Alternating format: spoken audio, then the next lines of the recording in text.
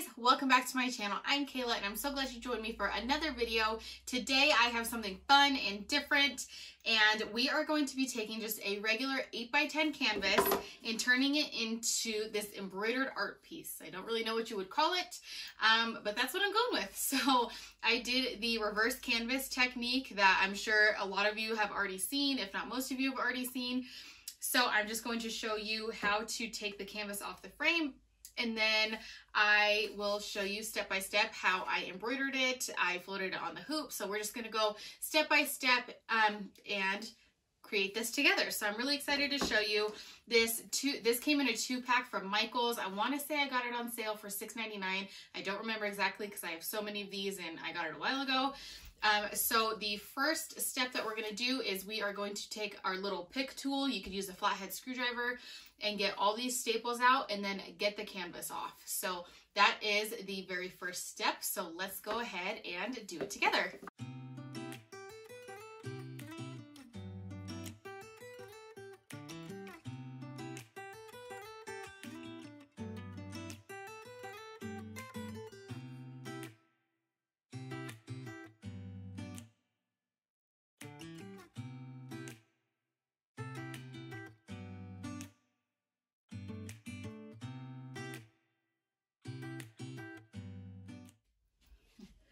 Okay guys, now normally I wouldn't do this in my room, but I've got my window open and we're about to be gone for a few hours, so I'm not worried about the the uh, smell from the stain. So what I'm going to do is I'm just going to stain my frame and I am using the stain Jacobean.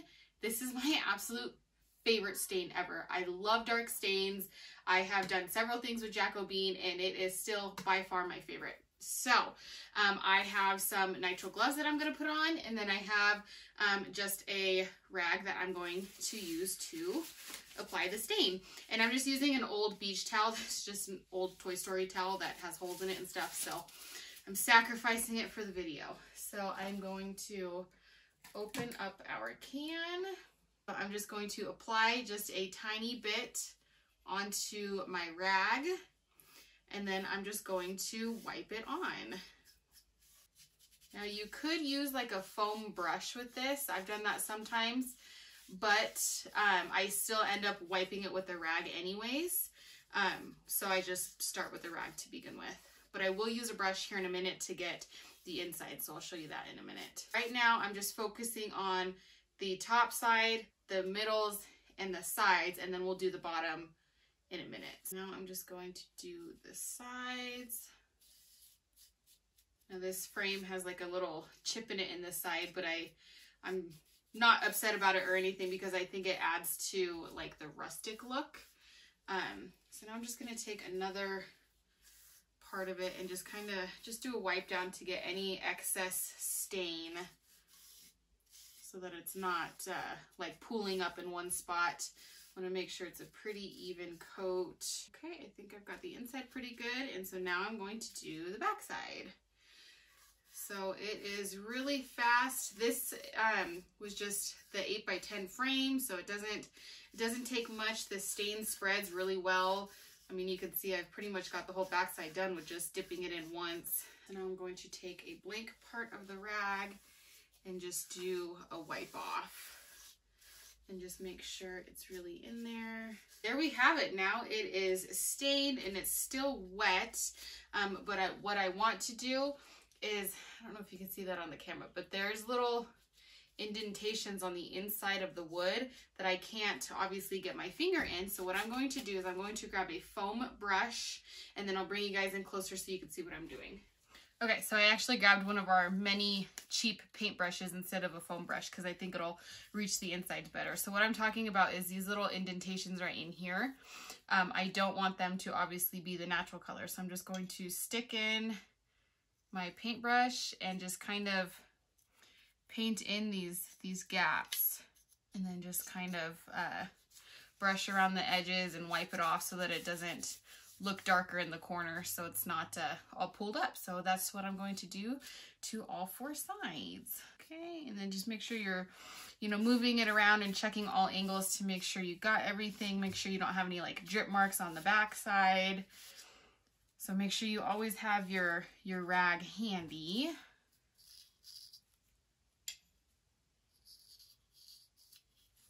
And it looks like looks like I got them all. So again, just make sure you double check everything. Make sure you don't have any missed spots, which I think I'm pretty good.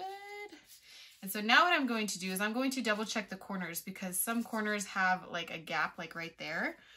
So I'm just going to take my brush and just kind of wiggle it in there and then wipe. So same thing, you can see the, the white, or not white, but the, the natural wood color right there. So I'm just going to get it with my brush and then wipe the excess. Okay, so again, I'm just going to double check and make sure I got all of the, the crevices. Looks like I missed a spot right here. Okay, I think this looks pretty good, guys. So now while this is um, drying completely, we will go ahead and head over to our embroidery machines. Okay guys, so I have not cut off the sides of my canvas yet. I'm going to leave those on just for now because I don't want to cut in too short. So just for the embroidery process, I'm just going to keep it on. And I already have my stabilizer hooped. I'm using, this is a cutaway stabilizer that I have and it's pretty thick. I don't think I need to double up on it because this is pretty thick, but I've never done this, so we'll just see how it goes. So I'm just going to float this on top like I do pretty much everything else. So I'm just going to spray my basting adhesive and then put this on top.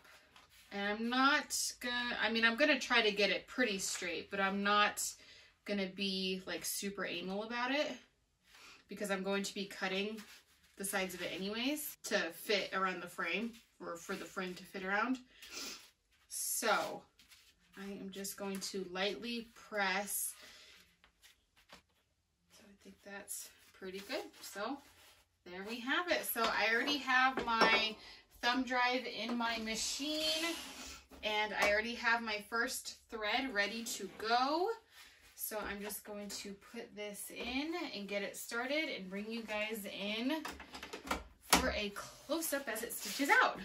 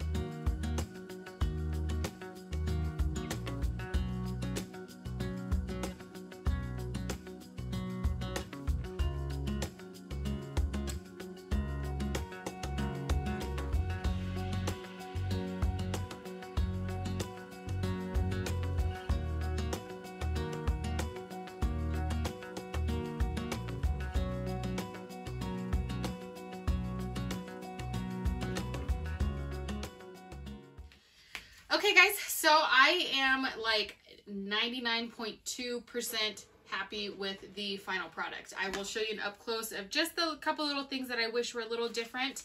But all in all, I think it looks absolutely beautiful. Do you like it, Sammy? Yeah. Yeah.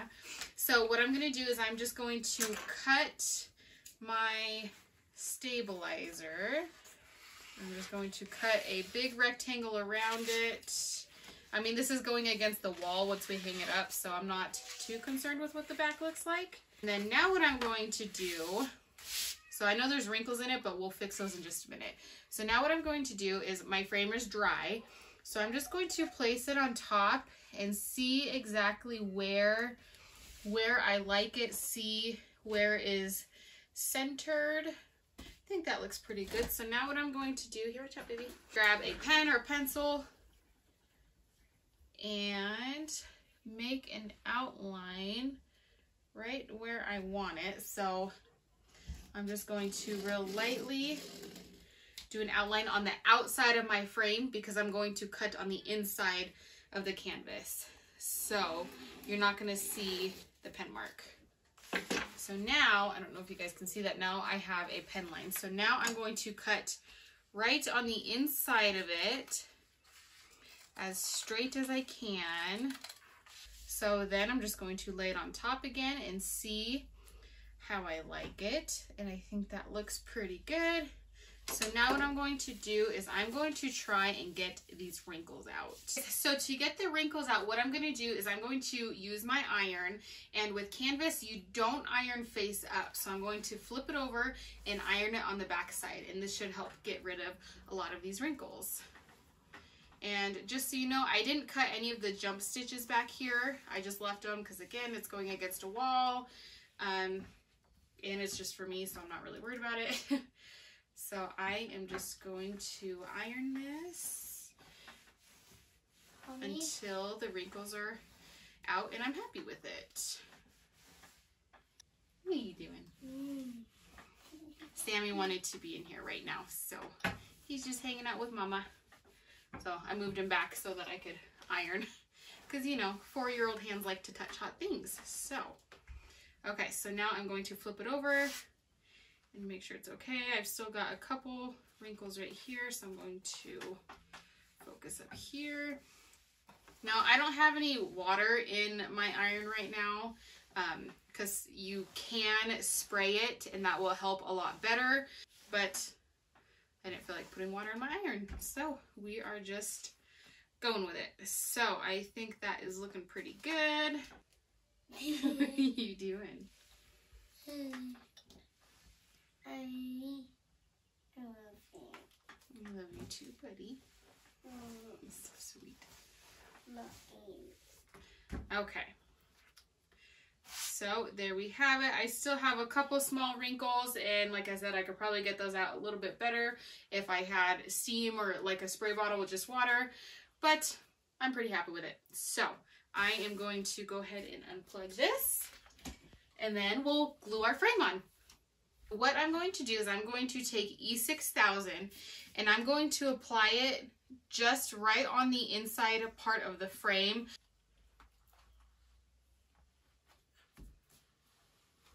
Buddy? Yeah, I scooped my chair. Oh, you're scooting closer? Okay. Here's left for good. Das Lid. Yep, that's the lid. Das Wetter. And it's so big. Good. It's a little lid, huh? And I'm not being super heavy with the glue just because, um, I mean, it's just holding on the canvas, so it's not holding like a lot of weight or anything. But I am making sure to get every bit of the inside of the frame.